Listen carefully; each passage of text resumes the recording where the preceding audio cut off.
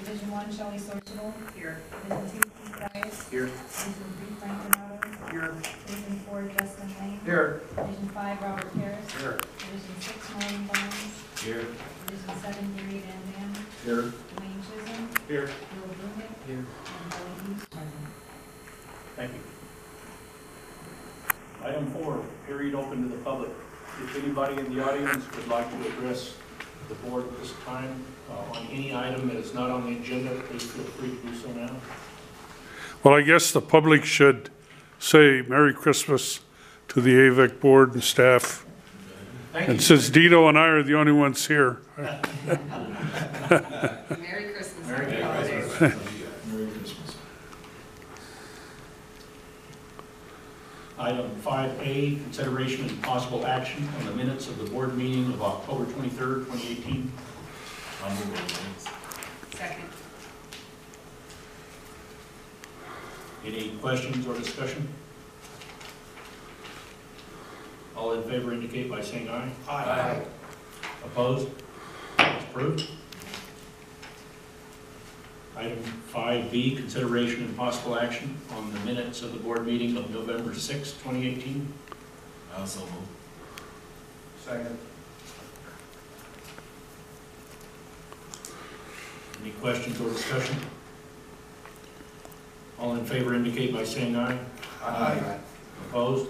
Abstain. One, one abstention. Thank you, Sean. Thank- Carried. Item five C, consideration and possible action on the minutes of the board meeting of November 13, twenty eighteen. Second. Any further discussion? All in favor indicate by saying aye. Aye. Opposed? Approved. Item six A, Finance Committee, Committee Chairman Donato, do you have a report? Yes, I did. Um, Committee met last uh, Friday and uh, went over all the bills and also the uh, check registry, which is uh, in your agendas. And uh, is there anything that, um, uh, anything that you want to bring up? No, there's nothing in particular that's out of the ordinary. Okay, so I'll go ahead and uh, move on board order six A one. The uh, consideration of possible action to accept the files of the check registry, a list of the number, of November twenty-eighth through December twelfth. I'll second. I'll second. Any questions or discussion? All in favor indicate by saying aye. Aye. Opposed? Approved.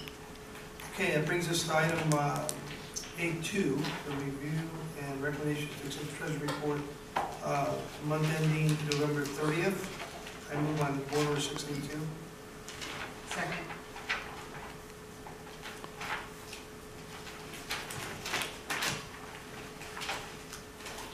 Any further discussion or questions? I have a comment. Sure.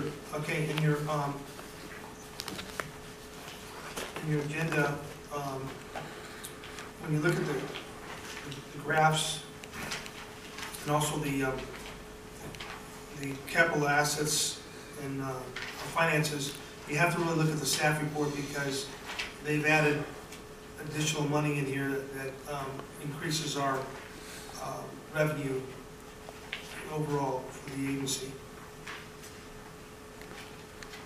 Yeah, that had to do with the fact that we had six point nine billion, uh, six point nine billion, but, uh, six point nine million dollars that, uh, uh, was received December third instead of November, so there's a, uh, so you see a little admiral, uh, ad, ad, ad, abnormality. I can get it, out, um, uh, for this particular month. We're actually, uh, if you factor that in, which we normally would have gotten, it actually would have increased, uh, uh, increased the uh, revenue by approximately two million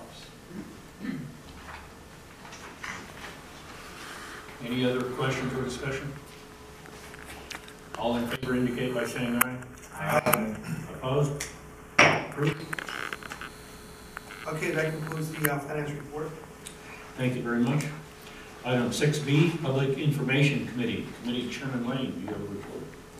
I do, but I'll pass it to Wayne, to Dwayne for this evening. Sure, thank you, uh, uh, Director uh, Lane. Um, The attached is a professional service agreement with Alicia, help me with the last name here, Holly. Semchuck. Sunshine. Um, And she's a uh, consultant that we hired this last year to help us with uh, some of our technical writing and uh, preparing various uh, press releases and newsletters uh, for the agency. Um, Her uh, contract uh, has expired, and this, uh, uh, this particular contract extension would extend the contract for another year. Uh, The only difference is, uh, given the, uh, um, the time that we've spent in the last year, that uh, we're recommending that we go to a uh, monthly retainer amount of fifteen hundred dollars per month, not to, not less than thirty hours of services, and then a consultant uh, could not uh, exceed over fifty hours per month hundred dollars per month without of the general manager or assistant general manager. Those revisions, and everything else is the same, with the exception of, uh, we have removed the uh, attorney's language that was in the prior uh, professional services contract at, upon the advice of uh, a uh, uh, board member and our attorney. I don't understand that. Can you explain, I mean, Sure. um, Want me to? Sure, you would mind. This is something that's come up before in our contracts. We had a attorney fee provision if lawsuits are filed, and we had discussed that that can work in, uh, in a way that hurts the agency, doesn't help the agency. Most people that uh, we contract with, uh, if we get into dispute with, we're in better shape not to try to shift fees. Um, Good example is some of the litigation we've been involved in recently. So basically what that provision allowed is if, if we got in a dispute, in this case with Alicia, and either we sued her or she sued us, the prevailing party would get attorney fees. Um, And that doesn't work in our favor. And I can explain more why. Okay, I said it not, that's great. sure. Um, why are we, um, supplying her with a retainer now when we're not before? Uh, It's to provide a, a uh, more consistent uh, work effort uh, and also to assist uh, her in cash flow uh, matters. We've exceeded that fifteen hundred dollar, or fifteen hundred dollars in most months the last year. So did the committee, uh, review what we paid her and what we received for those services and how many hours? Because that's a lot of hours. They didn't go into uh, that detail, but we're happy to provide it. We- There was a uh, considerable amount of discussion about the uh, retainer. uh, at the You Because I'm concerned that we're, I don't see what we're using her for. So, I mean, I know she does the newsletter, Right. she and does- she's done a couple of press releases, Right. but I haven't really seen much else for fifteen hundred dollars a month or for thirty hours, uh, what's it, thirty hours a month? Right. It's not to exceed thirty hours a month for the So, fifteen hundred dollars. so what I'm asking is, did the committee review that? We didn't, uh, staff did not provide the committee with uh, an hourly timesheet for the, uh, uh, for her contract and amount of hours that she did. We just wanted to provide them with some money justification that they could see we just gave them a verbal. What we did, Right. Yeah, sure. What we did discuss, Shelley, is that um, over the past year, we've been a whole lot more proactive in getting good articles out about our agency and what we're doing. And we wanted to continue that uh, and continue with, at every meeting, looking at what articles can be produced that will shed the best light on our agency and let the public know what we're doing. Uh, Certainly, the newsletter was something that we all agreed was something very positive for the agency. And with the new retainer, what we're hoping for, and I think we will get, is more positive articles on a proactive basis that we can uh, provide more information to the community. And I think all three of us felt that was a very good idea. And that that this uh, was a step in the right direction to get that.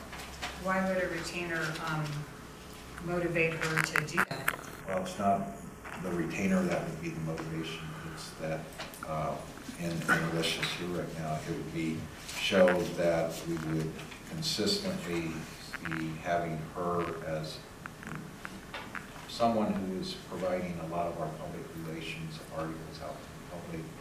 She's done that in the past, and this would continue that. So that was our thoughts. There was also the understanding that uh, this would help to compensate her for some of the meetings that she attends in order to get the background information that's necessary for some of, uh, some of the articles that would come forward. The other positive thing about Alicia is that she has a whole history of, you know, over a decade or more, probably two decades of history on water and what's been going on in the valley.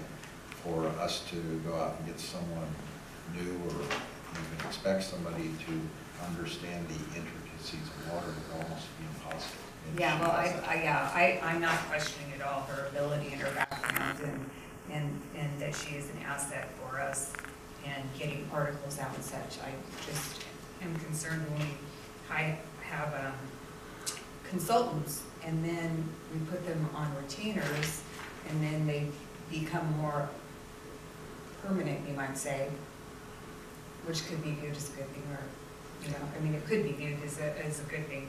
I just, I just haven't seen what we, what we've received for fifteen hundred dollars, so I guess that's part of my question. But if the committee's reviewed it and feels as though, um, we have, then, um, I guess, um, that'll be fine with me.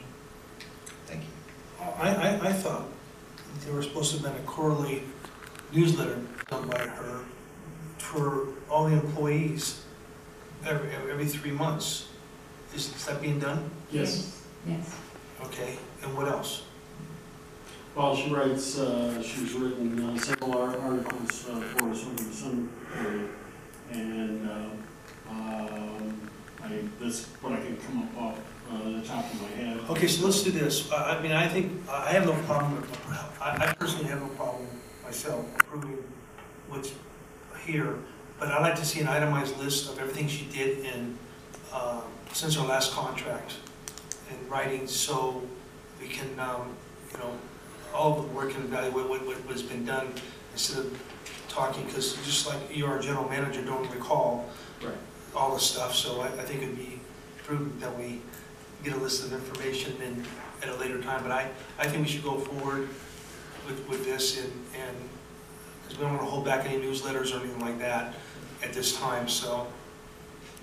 Yeah, And, and, and, and another thing for staff and management is maybe you're not using it enough to get more stuff out that should be approved by the president that can shed light to our constituents and the people in our district, what is going on with the agency, so maybe that's another thing we should be doing. That's good advice, and and I, I don't recall all the products that Alicia has produced, but I, I do appreciate the, the press release she performed for geopurification. It was very well written, very well received. And with that, can I, do we have a motion yet, or I will move approval of Board Order six, BE one? I'll second.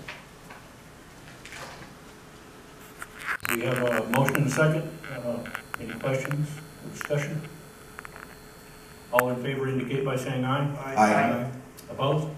It's approved. Thank you for your hard work. Thank you. And you know what I could do, um, is, first of all. Please, please come up to the What's your want to come up to the podium? Great, thank you. When I submit my invoices, they are itemized, line by line by line, all my invoices, so I could, um, supply copies, I guess. We, we have copies of those, we'll put it all. So to the, and then also, I'm always willing to do more work, I do what's assigned to me.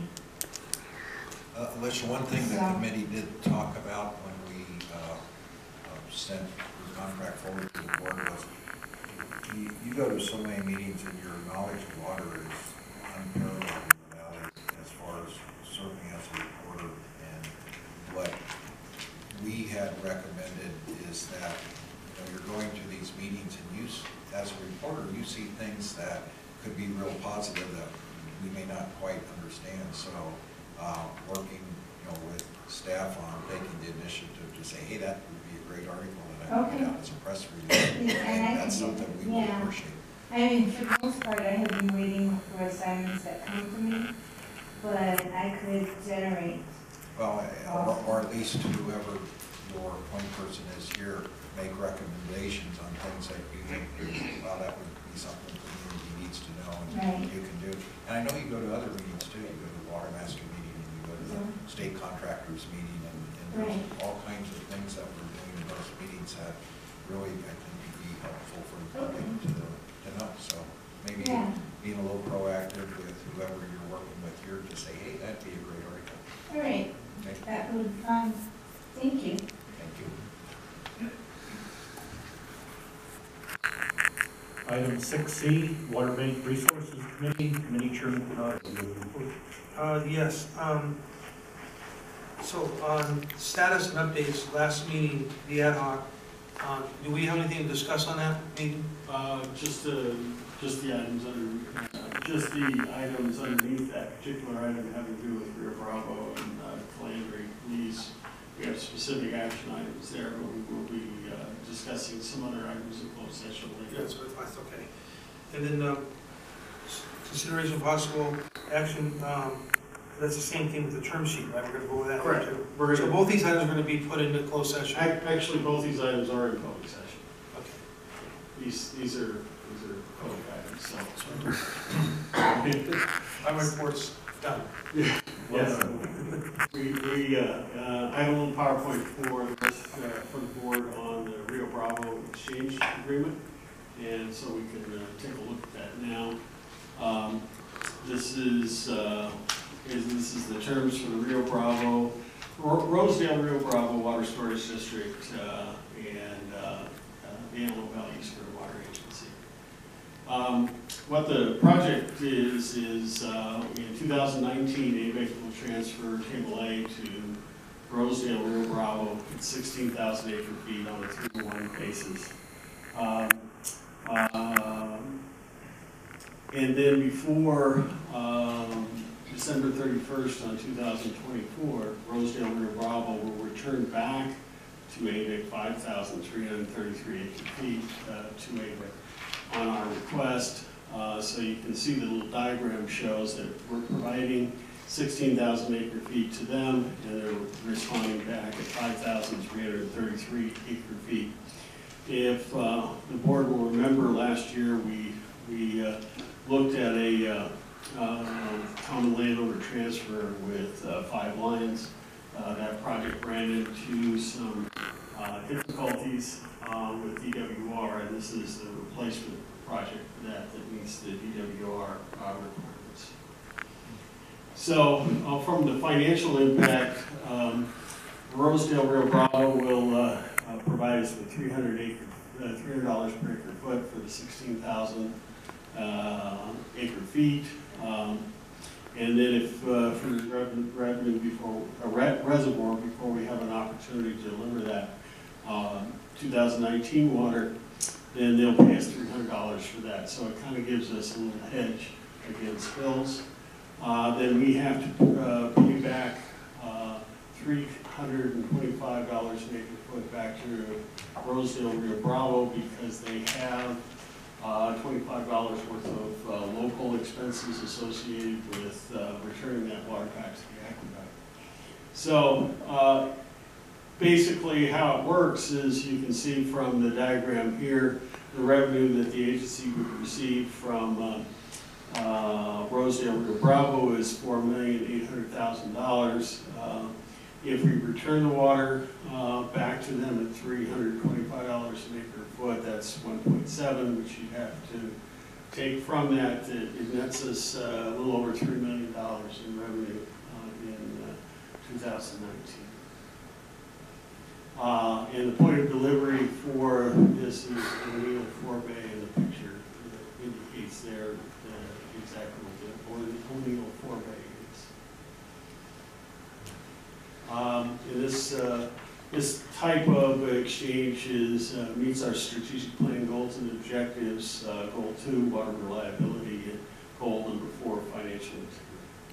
That concludes the staff report. Uh, uh, With the, if if, uh, the board should choose to approve the term sheet, uh, staff will draft up an agreement for DWR execution between us and uh, Rooftop.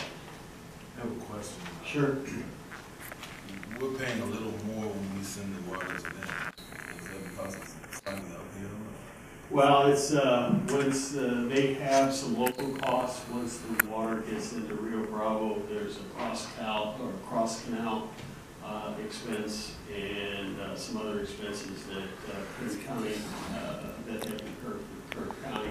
So they're recovering their costs essentially. There's no additional amount, they're just covering the cost of the water that they paid initially, plus whatever their out-of-pocket costs are, to get it back to the canal to us. So is this 2018 water or 2019 water? It's, uh, it has to be two thousand nineteen water. It will be two thousand nineteen water. However, we have sixteen thousand acre feet of two thousand eighteen water, which we will be delivering in two thousand nineteen. So, don't worry about the molecules, but just, uh, we're, uh, we're, we're, uh, having the uh, organization, uh, we're having the, the language meet with the requirements that DWR has for transfer And how long do we expect this will take? Um, they're, they'll, they'll they'll be pretty quick on this, because we've had a lot of discussion with them with regards to this, so I suspect about thirty days or so.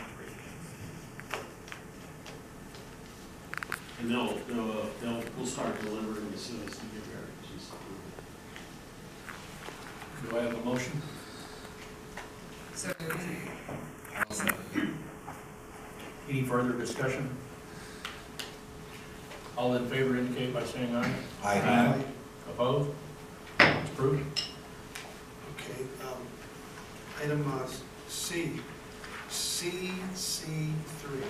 Consideration of possible action, approve term sheet with Landry Farms um, for 2019 property lease. John? Yeah.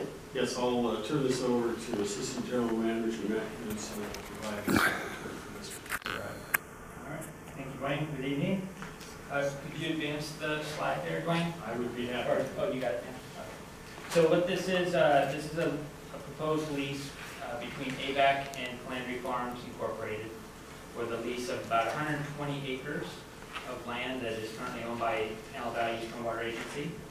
Uh, Included in your packet is staff report and the proposed term sheet for this project or this uh, lease. Um, The Property is located in Kern County, uh, just north of Avenue A. There's an exhibit up on screen that- that highlights the subject property in blue. The 300 acres of land that we own currently, but Clanbury is requesting to only lease 120 acres of that property on the northern end of the property between um, Gaskell and north of Elder Avenue, and then between 60th Street West and 65th Street West. Next slide, please. The basic terms of the lease, as I mentioned, 120 acres. Um, It's only for 2019, between January 1st and uh, they'd be off property by November 30th, 2019. Uh, They are requesting to utilize three of AVEK's existing ag wells, wells C6, 7, and 12, which are currently not utilized or anticipated to be utilized by AVAC. Um, Calandry would be responsible for all operation maintenance of those wells, any repairs, um, as well as the metering requirements to comply with the Antelope Valley Water Master. They would uh, be utilizing their own groundwater production rights, so they wouldn't be utilizing any of AVEK's water, um, all of which would be reported to the Antelope Valley Water Master, and that responsibility would be by Calandry Farms. Um, And then, obviously, they would restore the property to its original condition by the end of the lease. Um, Had a question before that, Okay. before the next one, I'll go back. Uh, Two things, um, one, there's got to be provision there that he cannot sublease the land. Okay. Okay, that's one. And the uh, second thing is that our approval, if approval goes tonight, it's also going to be contingent upon, the motion should be uh, contingent upon the water master approving their meter request. The metering request and the extraction of groundwater. Well, I meant, the substation. water, I mean, there's, yeah, exactly. But, but the big thing is you can't sublease it. Yeah, and also I should point out that this property here is under the S-Power lease option, um, which that lease option runs through November of 2019. Um, We have reached out to S-Power just to make sure that us leasing this land to Calandria won't interfere with that lease option. So there would be language in our lease agreement with Calandria that, and S-Power would sign off on it, saying that they're, they're okay with us doing this and it's not gonna impact that lease option. Okay. So S Power did say it was okay? Correct, I got something in writing last What's on that property as we speak? Who's on it? Is it old, old farm ground or what? Yeah, it's, it's vacant right now, I believe it's old Calandria Farm property. It's on it. It's uh, Mediterranean. Oh, Mary. Oh, yeah, had, had al, had alfalfa on it previously. Oh, it was in alfalfa? Mm-hmm. Oh, okay. So it wasn't Clandry then? No, it's Mediterranean. Uh, basically, it was. About, what, eight years ago? Yeah, it's about four or five years ago. Or five years ago? Time flies. Next slide. Uh, so they're proposing to lease the property for hundred dollars per acre, so based on the acreage, it'd be revenue to the agency in the amount of twelve thousand dollars. And we would have no expenses involved in this.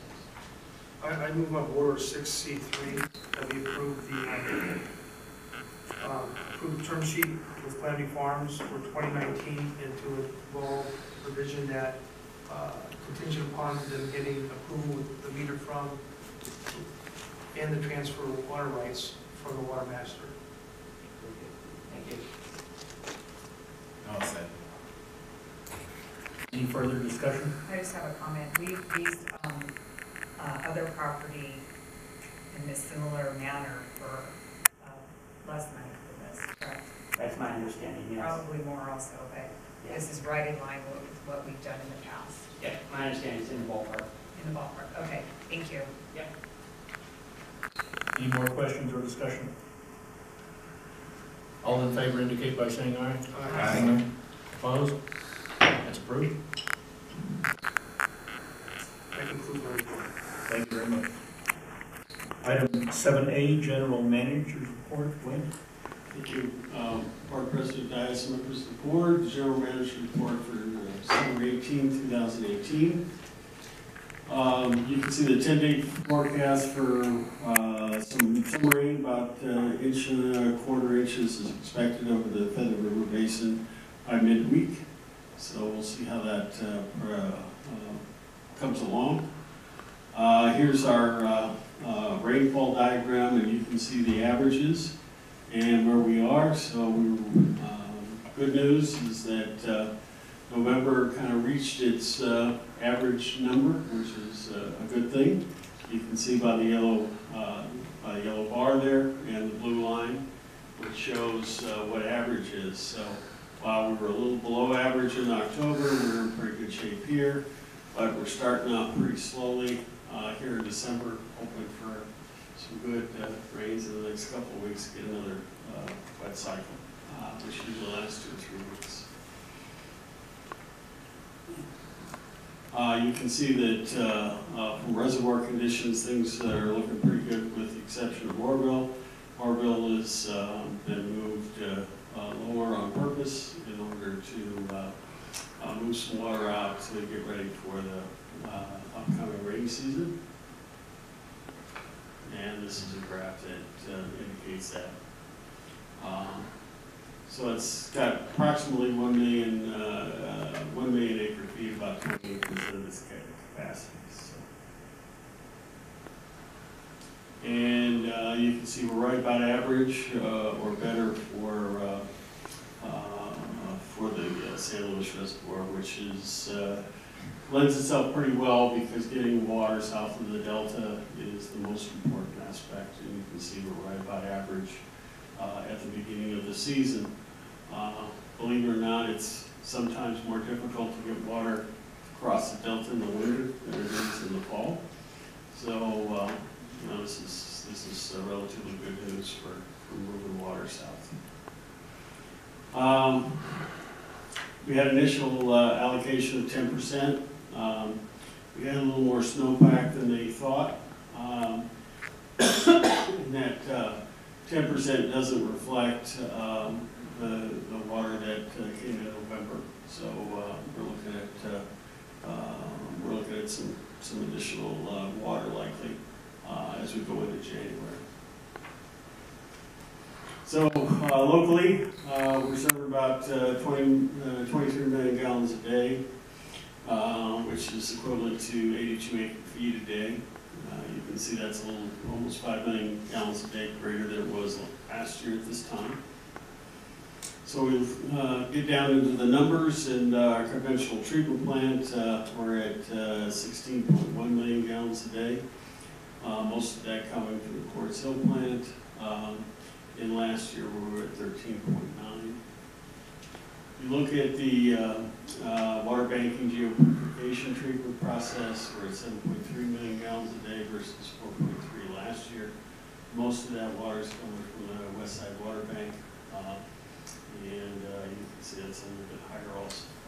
And I think you're gonna, um, when we get all the numbers tallied for 2018, I think you'll see that, uh, um, that there was a lot more water consumed uh, in 18 as opposed to 17.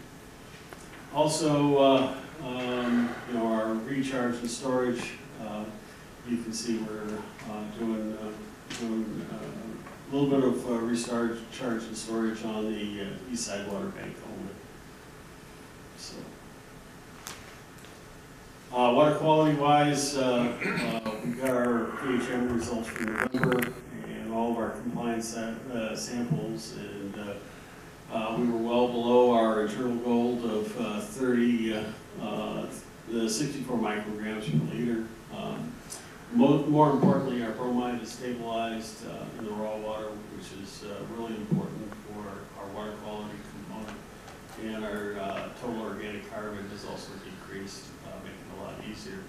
Also, um, wanted to mention that the uh, 2018 algal, al, al, can't pronounce words today. Algal, can anybody help me? Al- Alcohol?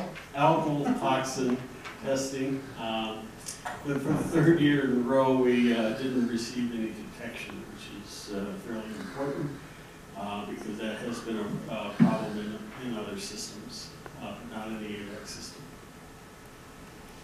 Uh, Status and updates, uh, there's Gabby lunch on Thursday at 11 o'clock. Um, Kathryn Barger will be providing the oath of office on January 8th. Uh, For our directors, we have a good, second Cadiz tour on January 10th. NWRA Leadership Forum in Phoenix, Arizona on uh, uh, the 10th of uh, January. Uh, And uh, my schedule, um, I'm going to be out of the office on January 2nd through 4th. Otherwise, I will be in the office through the Christmas holiday season. I will be attending the state water contractor meetings beginning tomorrow and Thursday. Back on Thursday evening. So that concludes uh, uh, the general manager's report. We're happy to answer any questions that you may have. I have a question on, Oroville, is that a, uh, annual thing they do before the water season? Yes, and uh, they're uh, under, they're working under some new interim uh, uh, dam operation. I don't mean that in a bad term. Operation uh, um, uh, criteria from the Corps of Engineers, and they, so they're a little bit lower than they have been in the past. Any more questions for Dwayne? Thank you. Thank you. Item eight, director's reports. Rob? No report. Marlon? Shelley? No. Frank? No. Justin? Nothing. Gary? No. Item, item nine, attorney. Bill? No. No report. Item ten, closed session. What items will we go into closed session for? Uh, We're gonna go into closed session on this item D, E, F, and G.